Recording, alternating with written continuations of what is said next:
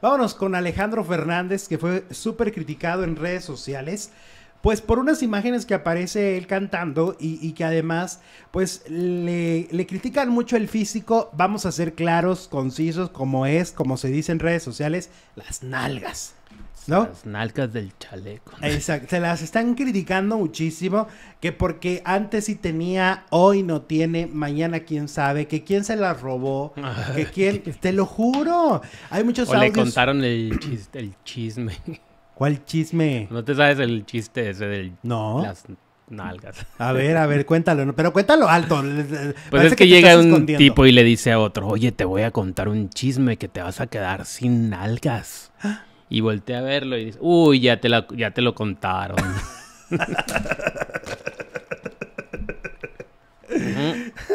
Así el potrillo. Bueno, luego. Pues así, así. Le contaron el chisme. Aplausos. Aplausos. Le contaron el chisme al potrillo. Ajá. Y este.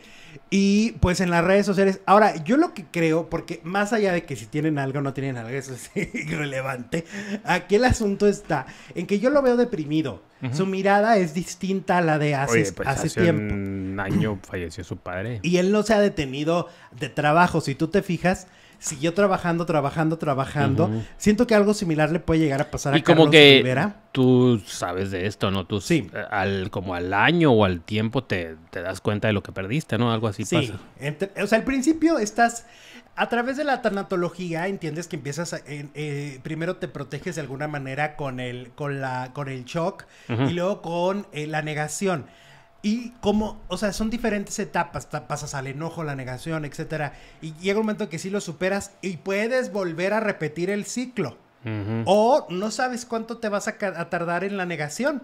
A lo mejor te tardas Pues años. cada gente es diferente. Cada cerebro es distinto, cada persona vive los duelos de manera diferente. Ahora, yo lo que veo de Alejandro Fernández es que si no paró de trabajar, entonces, pues sí es un distractor, pero también puede ser un arma de doble filo. Y entonces hoy lo vemos, creo yo que es una persona deprimida, creo que además si él no está buscando ayuda eh, este, emocional, pues cómo sale, cómo sale de ahí, ¿no? Es muy complicado salir de una depresión profunda sin que pidas ayuda. Se le ve en su mirada, se le ve en sus actitudes, se le ve en todo. Y ahora hasta físicamente se ve distinto, ¿no?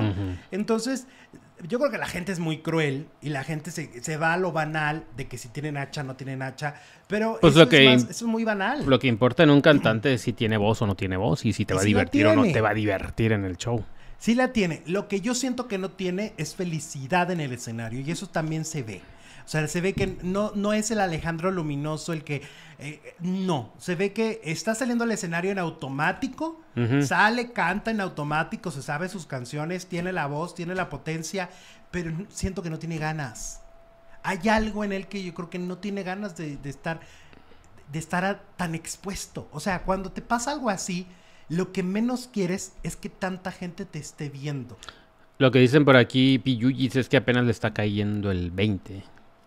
Y pues se murió además su, más grande inspiración. No solamente como, como eh, el padre y el patriarca que fue don Vicente, sino como artista. Es decir, si, si Alejandro mira hacia arriba, hacia la música mexicana, pues eh, siempre es su papá el más grande, ¿no? Y que hace en el escenario cantar música mexicana. Entonces, son, son tantas cosas, es- son tantos factores que seguramente están alrededor del potrillo. Que, que ojalá y, y- y pronto lo podamos ver feliz. Deja tú físicamente que esté como le dé la gana, pero feliz. No lo estamos viendo feliz en el escenario y es bien complicado. Eso está bien cañón, ¿no? Sí, está fuerte lo que está pasando. Ay, ay, ay. Oigan,